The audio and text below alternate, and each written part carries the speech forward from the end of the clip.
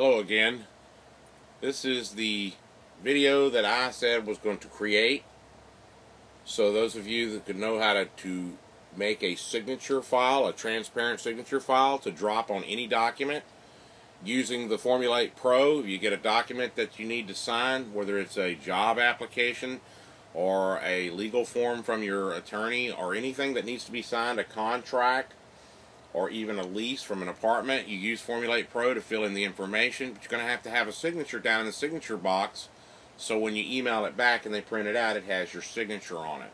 What I've done here is I'm using a program on an iPhone called Brushes. Now what Brushes does is it allows you to do paint art and finger art on your screen. What I've done is I set the background to white and I use the black for the design of the name, the signature.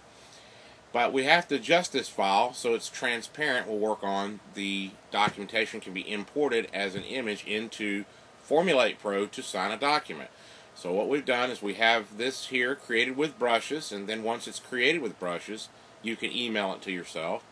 Now we're going to need to adjust this file where we can work with it. So we'll rotate the canvas 90 degrees clockwise. We are working in Photoshop. This is Photoshop CS4. sure that they all, the selections in the menus are similar. You want to use your magic wand tool and you want to click in the area, go to select and inverse so all you have is just the signature being selected. Then you want to go and you want to, out of your edit menu, you want to select cut. Then go to File, Start a New.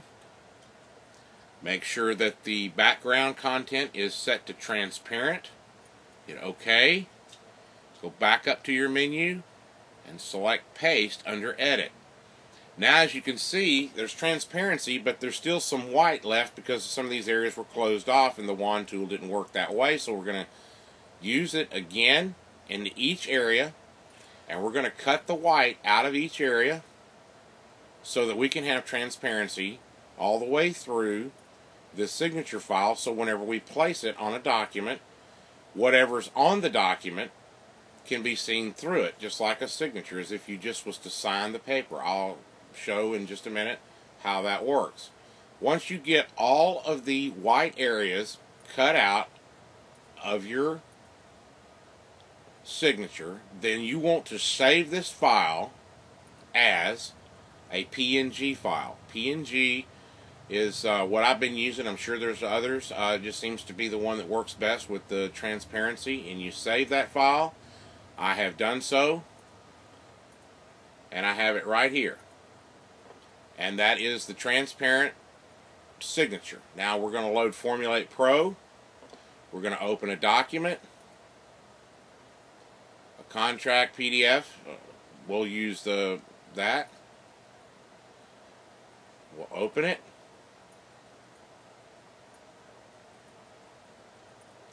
Then we're going to go up into the menu and we're going to place image. We're going to grab our signature PDF file, or PNG file rather.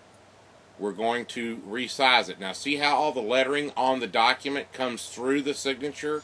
It looks like a real signature.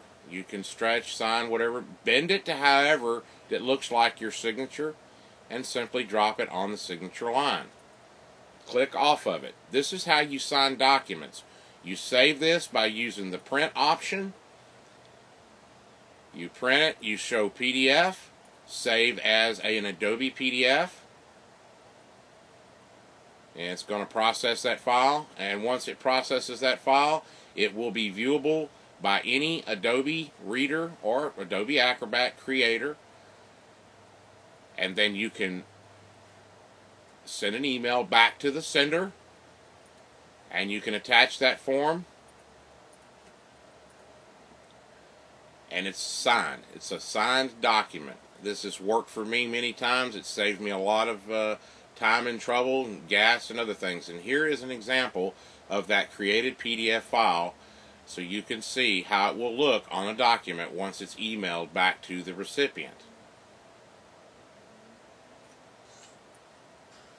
There you go. I hope you enjoyed my video. There'll be more on Formulate Pro.